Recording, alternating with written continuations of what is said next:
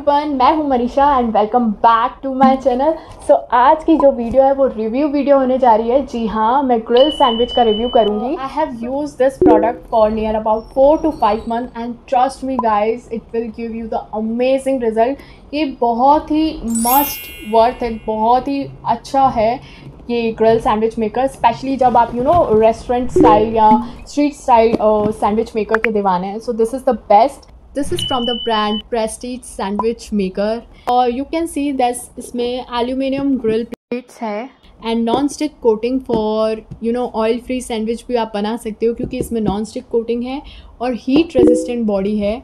यानी कि इसकी ये वाली बॉडी हीट रेजिस्टेंट है। ऐसा प्रेस्टीज वाला कहता है बट ऐसा है नहीं क्योंकि ये वाली जो बॉडी है ना, ऊपर की देख रहे हो गर्म होती है। बट ऐसी भी गर्म नहीं होती कि आप टच नहीं कर सकते हो। नॉर्मल गर्म होती है।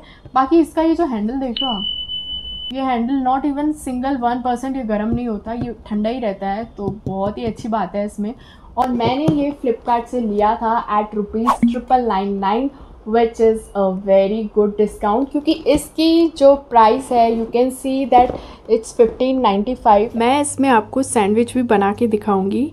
ये देखिए हमारी फिलिंग वेजीज़ की और मैंने सॉसेस डाल दी हैं और मैंने यहाँ रेगुलर ब्रेड यूज़ करी आप कोई सी भी ब्रेड यूज़ कर सकते हैं।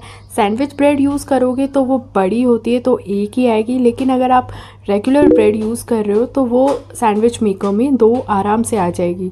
सो so, ऐसा नहीं है मैं यहाँ स्विच ऑन कर रही हूँ और आप डायरेक्ट ब्रेड डाल दो सैंडविच डाल दो जो आपने बनाए हैं। इससे आपके सैंडविच ख़राब हो जाएँगे। सबसे पहले ये रेड लाइट चलेगी और रेड लाइट जलने के बाद जब ये ग्रीन लाइट आपकी जलेगी तो मतलब आपका ये सैंडविच मेकर प्री हीट हो चुका है। अब आप इसमें सैंडविच रख सकते हैं, बना सकते हैं। सो पहले ये प्री हीट होगा और प्री हीट का प्रोसेस लगभग दो मिनट का होता है। हमारी जो सैंडविच की फिलिंग है, वो फिल कर लूँगी। सैंडविच के अंदर हमारी वेजीज़ की फिलिंग डाल दी है। और ये देखिए, मेरी ये ग्रीन लाइट जल गई है। तो अब हम इसमें सैंडविच रख सकते हैं, ये प्री हीट हो चुका है। इसमें आपको आराम से डालना पड़ेगा क्योंकि वो गर्म होता है। क्योंकि इसमें नॉन स्टिक कोटिंग है तो आप ऑयल फ्री टोस्टिंग भी कर सकते हो। और अगर आप डाइट कर रहे हो तो ये बेस्ट प्रोडक्ट है आपके लिए। आप विदाउट घी ऑयल और बटर के भी आप सैंडविचेस बना सकते हो। और ये ग्रीन लाइट जो आपकी है, वो बंद चालू बंद चालू होगी। ये क्या है ना, हमारी हीट को कंट्रोल करती है। सो so, इसमें पहली बार जब आप बनाएँगे तो आपको खोल के देखना पड़ सकता है with the help of lock and unlock button जो हमें दिया गया है। ये बटन भी काफ़ी अच्छा है। जितनी भी आपने देखा मैंने फिलिंग ज़्यादा करी तो कोई झंझट नहीं है फ्लिपिंग की। और हम तवे पे फ्लिप करते हैं तो हमें थोड़ा ऑप्शन फ्रंट और बैक साइड पे तवे पे बनाना पड़ता है।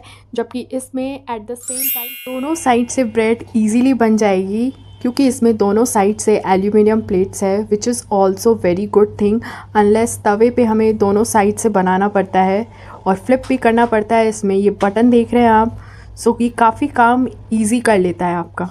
पहला सैंडविच थोड़ा सा टाइम लगता है, लगभग दो से तीन मिनट उसके बाद ये हमारा सैंडविच मेकर गर्म होता है सो हमारे बैक टू बैक सैंडविचेस बहुत इजीली जल्दी बन जाते हैं। अब ये देख रहे हैं, हमारी दोनों लाइट जल गई है। सो so, इसकी पावर कंजप्शन 800 वॉट है which is again a very good thing plus इसमें वन ईयर की वारंटी आपको अच्छी खासी मिल जाती है। देखिए हमारे सैंडविच में अच्छे से ग्रिल मार्क आ गए हैं। इसके अलावा सैंडविचेस के अलावा आप पनीर को भी ग्रिल कर सकते हैं एंड सोया चाप को भी ग्रिल कर सकते हैं। इन सैंडविचेस को आप तभी बनाएँ जब आप गर्मा गर्म खाएँ क्योंकि ये गर्म गर्म बहुत ही अच्छे लगते हैं बाहर जैसे क्रिस्पी और आपको इसको ज़्यादा ज़्यादा डार्क भी नहीं करना है। ये देखो, ये हमारा परफेक्ट कलर है और ये हमारे सैंडविच बन गए हैं। दोनों साइड से अच्छे से मैं आपको दिखा देती हूँ इसका दूसरा साइड।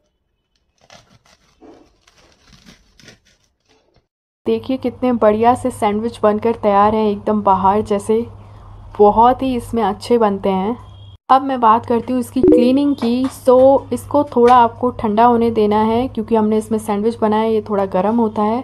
और ठंडा होने के बाद हम इसे साफ़ करेंगे। ये ज़्यादा मैसी नहीं है, आप देख सकते हो। तो हम इसको ड्राई कॉटन क्लॉथ से साफ़ कर लेंगे मतलब सूखे कपड़े से। अगर आपका ज़्यादा गंदा है या आप वन मंथ में एक बार ही क्लीन करना चाहते हैं so you have to first clean with wet cotton cloth and then you have to clean with dry cloth. जी हाँ सबसे पहले आपको गीले कपड़े से साफ़ करना है, उसके बाद आपको सूखे कपड़े से साफ़ करना है। अगर आप रोज़ रोज़ साफ़ नहीं करना चाहते हो, सैंडविचेस में ये इतना गंदा नहीं होता, लेकिन अगर आप पनीर को ग्रिल कर रहे हो, सोया चाप को ग्रिल कर रहे हो तो ये उसी वक्त बहुत ज़्यादा मैसी हो जाता है। तो आपको हैंड टू हैंड आपको इसको पहले गीले कपड़े से साफ़ करना है और फिर सूखे कपड़े से। तो इसमें साफ़ करने का प्रोसेस काफ़ी सिंपल है। तो अब मैं बात कर रही हूँ उसके वायर की। वायर देख रहे हो आप कितनी छोटी है। मुझे एक चीज़ इसमें ये अच्छी नहीं लगी। It's about this thing it's around one metre अगर आपके किचन में स्विच नहीं है, या स्विच कहीं है, बहुत दूर जगह है तो you have to use extension अगर आपको इससे रिलेटेड कुछ भी पूछना हो तो भी क्वेरीज हो आपकी सो आप मुझसे कमेंट सेक्शन में पूछ सकते हैं। I am always there to reply और मैंने इसकी जो लिंक है ना डिस्क्रिप्शन बॉक्स में दे दी है। मेरा ये रिव्यू रिलेटेड वीडियो पसंद आया so to like share with friends and family and of course subscribe my channel और thank you thank you thank you so much for watching अगर आपको ऐसे रिव्यू वीडियो मेरा पसंद आया सो प्लीज़ इसको ज़्यादा से ज़्यादा लाइक करना और कॉमेंट करना, जिससे मैं आगे और ऐसे रिव्यू वीडियो लेके आऊँ। तब तक के लिए take care goodbye see you soon in the next video